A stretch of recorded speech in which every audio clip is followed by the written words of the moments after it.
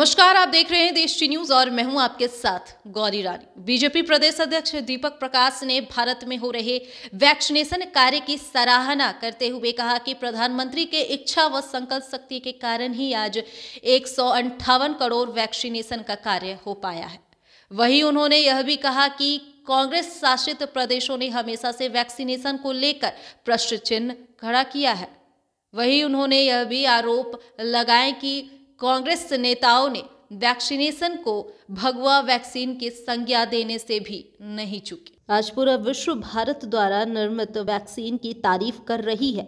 वहीं उन्होंने झारखंड के संदर्भ में हेमंत सरकार द्वारा कोविड व्यवस्था व वैक्सीनेशन कार्य की आलोचना की।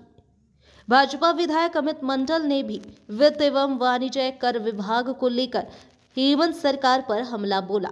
कहा, सरकार के पास ना कोई विजन है और ना ही कोई प्लान। जब से हेमंत सरकार सत्ता पर आई है, खजाना खाली होने का राग अलाप रही है। उन्होंने भी वैक्सीन पर सवाल खड़ा किया खड़ा करके जनता को भ्रमित करने का काम किया। उसी प्रकार से कांग्रेस के रणदीप सुरेजवाला रणदीप सुरेजवाला ने प्रेस कॉन्फ्रेंस करके वो वैक्सीन और कोविशील्ड पर जो आज दुनिया उस पर फख्र कर रही है, उस पर भी प्रश्न खड़ा करने का काम किया था। इतना ही नहीं, कांग्रेस के नेता राज सिंह अलवी, राज सिंह अलवी ने इसे भगवा वैक्सीन करार दिया था दोस्तों। इतना ही नहीं, छत्तीसगढ़ की की सरकार है, उनके हेल्थ मिनिस्टर है सिंहदेव उन्होंने तो कहीं बहिष्कार करने की घोषणा की थी और तो और झारखंड के स्वास्थ्य मंत्री भी इससे पीछे नहीं रहे दोस्तों, बन्ना गुप्ता। और बन्ना गुप्ता ने क्या कहा था? जिस दिन, एक 16 जनवरी को, जिस दिन वैक्सीन ट्राई हुआ था, उसके नेक्स्ट डे 17 जनवरी को उन्होंने बयान दिया था और कहा था, देश के लोगों को प्रयोगशाला का चूहा नहीं बनना चाहिए। करना चाहता हूँ टीबी टीबी का वैक्सीन दुनिया के अंदर निज़ाम हुआ उन्नीस में, लेकिन भारत में 1978 में आया। वो तब आया जब अटल जी की सरकार पोलियो का भी उसी प्रकार से दुनिया के अंदर 1955 में ईजाद हुआ। लेकिन भारत में उन्नीस में आया।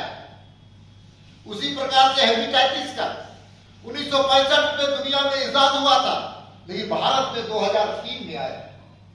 उसी प्रकार से मैं कह सकता हूँ कि जापानी इंफ्लाइटिस जो बीमारी होती है, वो 1930 में भारत दुनिया में ईजाद हुआ था और 16 और 17 में जोगी जी के नेतृत्व में उत्तर प्रदेश में लाया गया।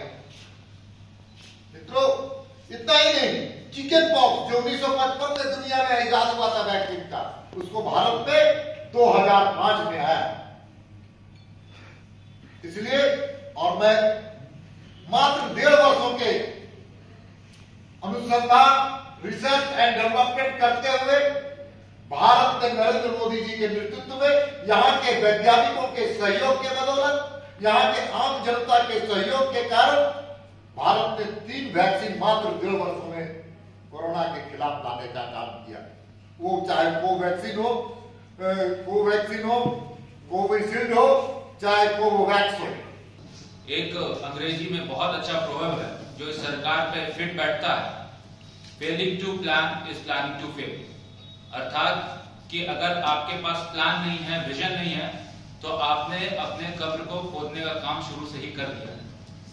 और यही कारण है कि शुरुआती दौर से, जब से ये सरकार आई, तब से नेगेटिव नोट पे सरकार ने अपना कामकाज चालू किया।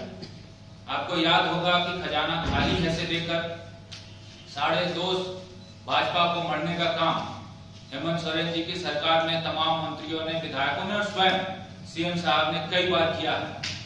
लेकिन उनके पास अपना क्या प्लान है? उनके पास अपना क्या विजन है?